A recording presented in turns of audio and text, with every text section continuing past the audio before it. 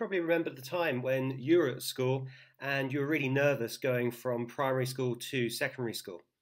Hello, I'm the Ginger Mathematician and I'm going to go through the key tips that you need to prepare yourself for the transition from Year 6 to Year 7 in mathematics. Stay tuned.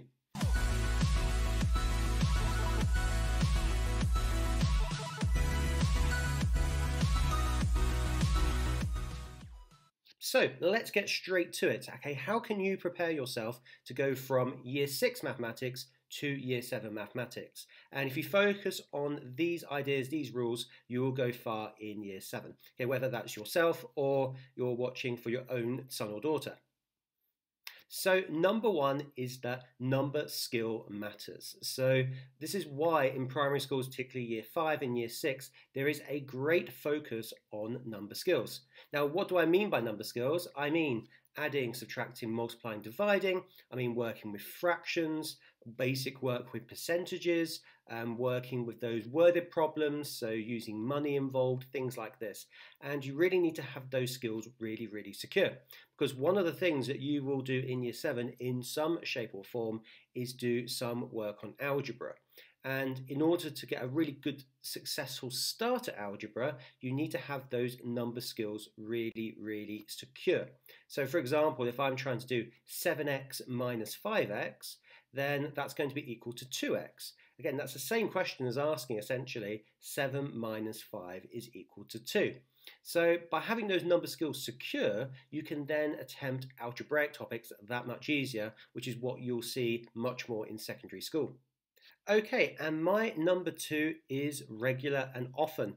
And this doesn't just apply for mathematics, but if you're learning a language, if you're learning any skill that you need to improve, you need to be doing it regular and often. And the transition from year six to year seven, often you always have that teacher presence there for regardless what subject it is, and then you can always ask questions. You, know, you can ask a maths question in a English lesson and vice versa.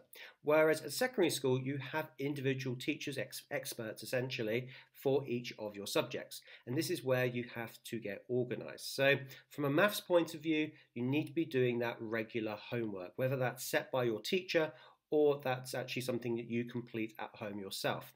Now, I would certainly aim for doing about 40 minutes per week to make sure you're really consolidating everything that you're doing in your new mathematics lessons.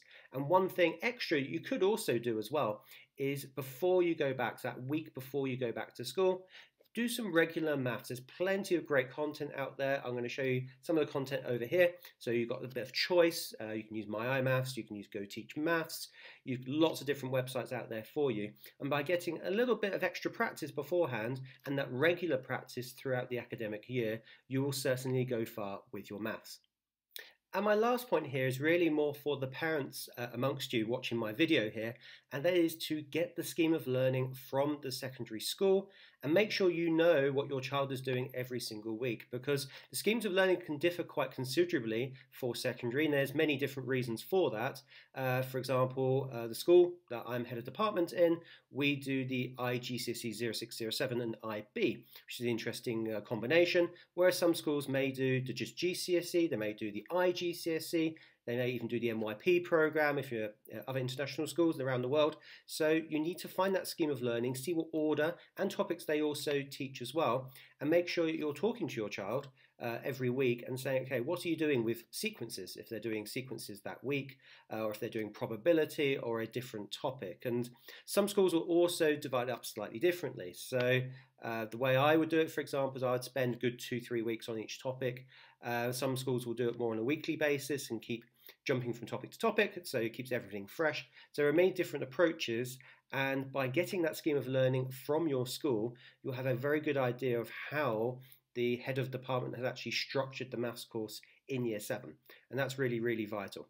If you're coming from a white rose scheme of learning, you might find your new school also does white rose maths as well, which means it will be a much easier transition going from year six to year seven. But if uh, there are two different kinds of systems or different ways of doing schemes of learning from year six to year seven, you need to find that, you need to talk to your teacher, and then you've got a good idea of how to prepare your child as well as you're doing homework together or you're talking through the maths you've done that week.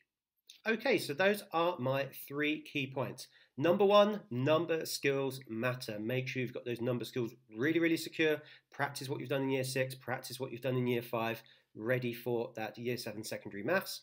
Make sure you do that. Number two is regular and often. It's great advice. It will keep you on top of your workload as the workload will increase going into year seven. And by doing that regular and often mathematics practice, you'll feel much comfortable when those end of year exams come around. And then, of course, number three is get that scheme of learning from your teacher or the head department so you know exactly what order they're teaching in, how they're teaching different topics, and then you've got the best possible preparation for year seven when you get there. All right, best of luck, and hopefully you will enjoy year seven maths. And if you're a parent, hopefully your child will also enjoy maths as well. All right, bye bye for now.